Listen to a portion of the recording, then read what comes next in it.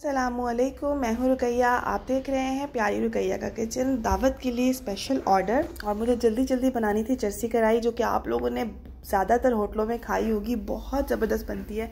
इसका taste different क्यों होता है? इसमें कौन सी चीज़ें डिफरेंट जाती है? मेथड क्या होता है?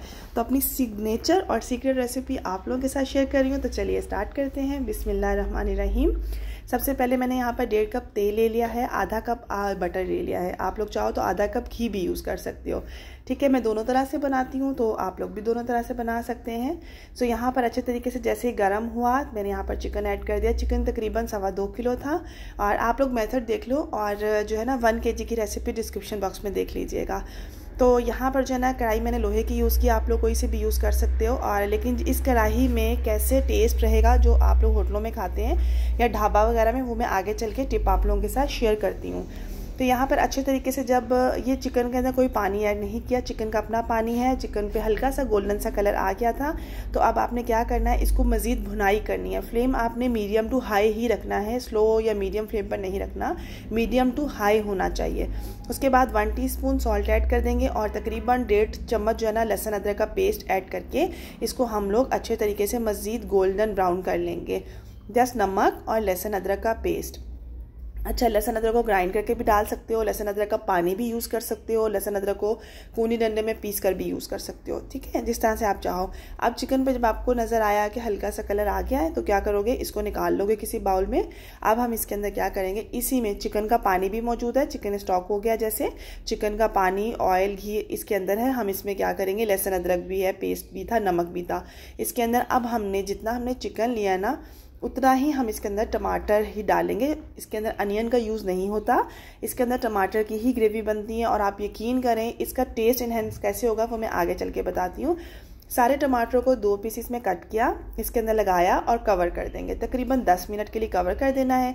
टमाटर बिल्कुल सॉफ्ट हो जाएँगे और सॉफ्ट होने के बाद आपने इसको ऊपर का जो इस छिलका था ना, वो आपने उतार देना है, ठीक है? और जो बाकी टमाटर बाकी टमाटर होगा ना, वो आपने उसको ग्राइंड कर लेना है।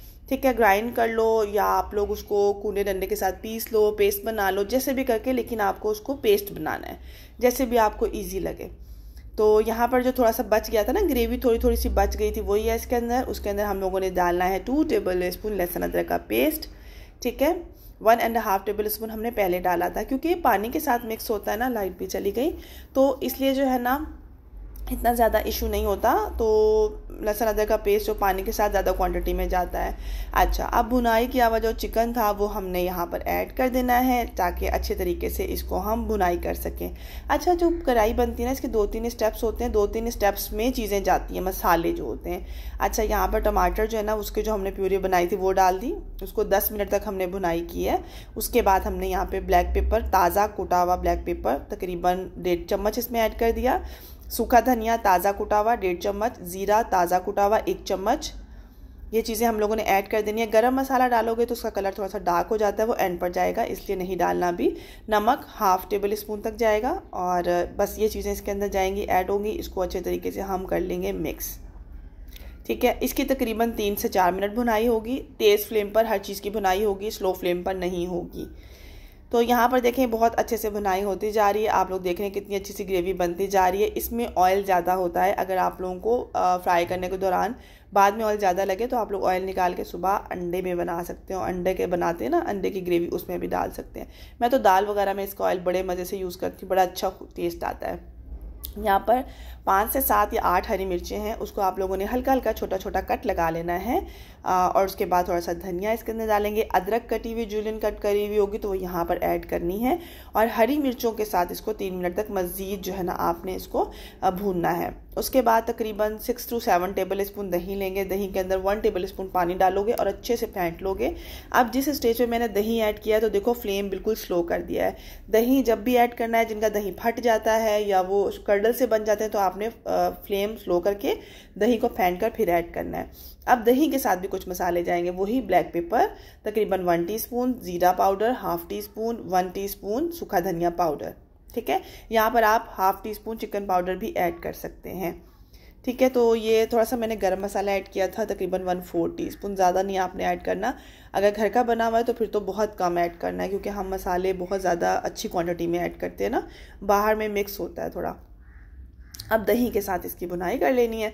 और ये बहुत ज़बरदस्त ग्रेवी बनती है। इसमें हरी मिर्चों का और टमाटरों की जो ग्रेवी है ना, इसका टेस्ट बड़ा अच्छा आ रहा होता है। बस आपने इसको भूनते जाना है ये ख्याल करना है चिकन टूटे ना और आपने जो ग्रेवी है ना, उसको आपने जितना पकाना है भुनाई करनी है, वो भुनाई हो जाए। अच्छा इसमें पानी ऐड नहीं होता, ये अपने टमाटरों के पानी में ही भुनाई हो जाती है। अब इस स्टेज पे आप लोग थोड़ा सा पानी, जितना आप लोग मेहमान है, उस हिसाब से आप लोग रखना चाहो तो ग्रेवी रख सकते हो, बच्चा पार्टी बहुत ज़्यादा है तो इस तरह कर सकते हो। अदरवाइज़ आपने पानी ऐड नहीं करना। लुक देखे माशाला अभी से कितना ज़बरदस्त आ रहा है।